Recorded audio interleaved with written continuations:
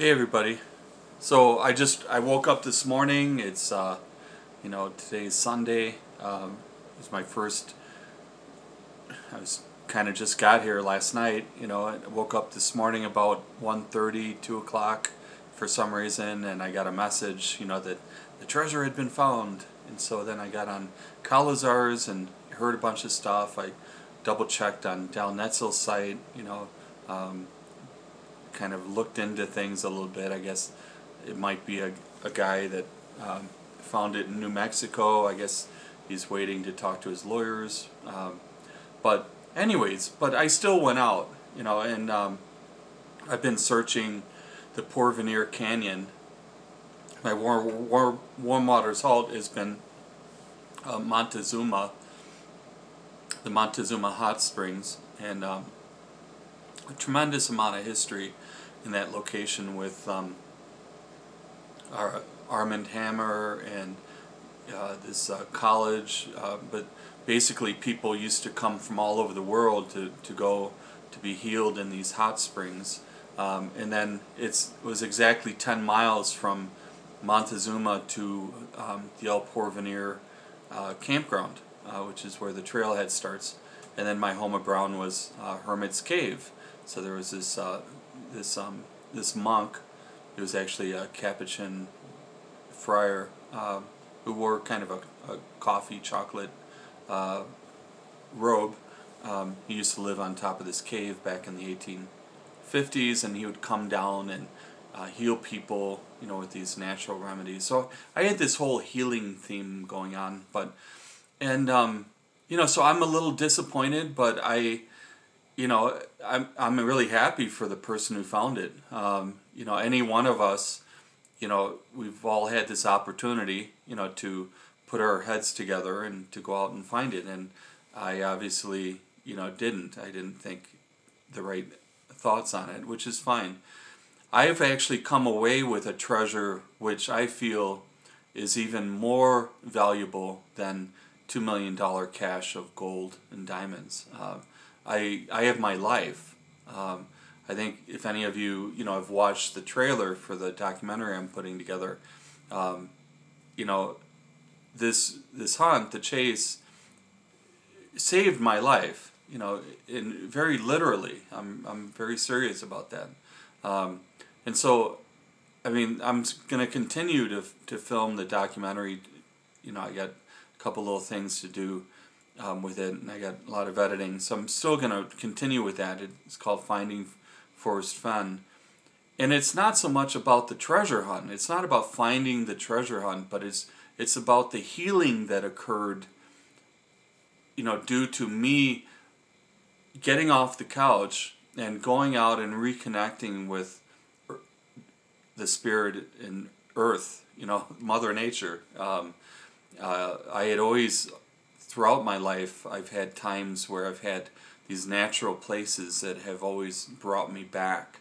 They've refocused me. They've recentered me, and so um, so I feel like I mean I've gotten my life back. Um, uh, you know I'm gonna start a new YouTube channel. Um, it's gonna be called um, something like Natural Living or out not outdoor living. I'm still working out the kinks on it, but basically it's it's to promote getting out into nature and hiking and you know eating whole foods and you know um, living naturally. Um, and so you know and, and through that you know I'm going to continue with my documentary um, and talk about how again how you know this has changed my life and, uh, and I'm going to continue with my hiking. Uh, I'll probably stay closer to Wisconsin. You know, we have some areas, but maybe I'll eventually, you know, go hiking on the Appalachian Trail or, you know, there's a trail up in the northern peaks, but, um, but I don't see this as, you know, like a, a loss. Um, everything has been a gain.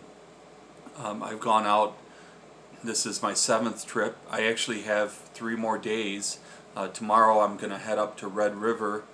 Um, I actually did uh, a little segment on that. I think Richard actually did that segment. And, um, and I told Richard about it. I mean, and he's a little upset, but he understands and he's gonna support me because he, you know, with this whole natural living type of thing. I mean, he wants to be involved in the new YouTube channel as well. But um, you know, tomorrow at Red River, the Taos area. Um, I'm not sure I'm going to go down to the Rio Grande, the John Dunn Bridge. I've done that several times. A lot of the pictures that I've taken of these places, you know, are are really good. You know, and it's I, I definitely don't want to, you know, go to places that, um, you know, it just depends on the weather. But so tomorrow's my fun day in uh, Red River, Taos, um, and then I'm gonna um, head over to Santa Fe on Tuesday, and then uh, you know I'm gonna spend some time in Chama. Uh, I've heard some good things about it. There's a railway there's a railway museum there, um, so I'm gonna check that out, uh, and um, and then I'm gonna head home. So I should be home in time to pick my son up Friday at 5 p.m. So if you're listening, Ivan, I should I will be home um, on in time. Um, I had a little bit of a tire pressure issue this morning, so I was frantically running around trying to make sure that I didn't have a leak in my tire. Uh, my car, the rental car, it's white and it's just covered with bugs. I mean, I went through some very uh, just amazing buggy areas, but um, you know I've had so much fun on this trip. I I went out this morning. Uh, I spent about five four hours out on the trail. I did make it to the spot I wanted to. I wanted to see what would be just 500 feet past. Excuse me, this waterfall, and um, there wasn't anything there. It was just kind of a debris-filled area. It didn't really look like anything. Um, but um, but I had a really good time. I actually ran into a girl coming as I was going back. She was coming out, and uh, she spent her whole life uh, with the mountains. You know, she was born and raised. I talked to her how you know how much uh, the mountains have really changed my life. Um, we just had a really nice talk. And tonight I'm going to meet with um, a person that had appeared in some on some things. His name is Jesse Benavides. I think that's how you pronounce his last name, but but he was born and raised in Montezuma, New Mexico, and so um, uh, he's going to show me some ruins from some of the things that they've had back. You know, and again, it's a very historical piece. But so um, so I am going to continue. You know, putting the documentary together. The focus again will be on you know my own experience in uh, in searching for this treasure and how it's impacted my life.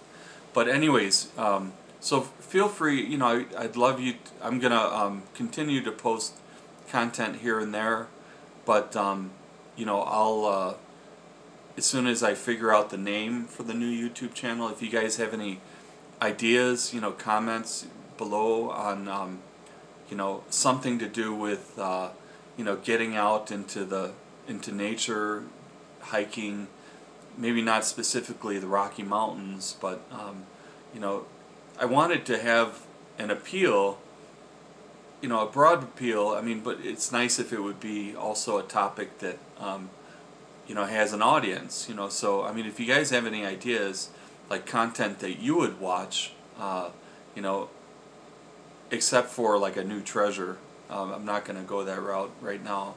But um, but if you have any ideas on you know something to do with you know natural living, you know getting out hiking in nature, um, you know uh, that type of thing. You know just please comment below. Anyways, but you take care and um, you know you, you all have a, a great rest of the weekend and I'll uh, I'll talk to you soon.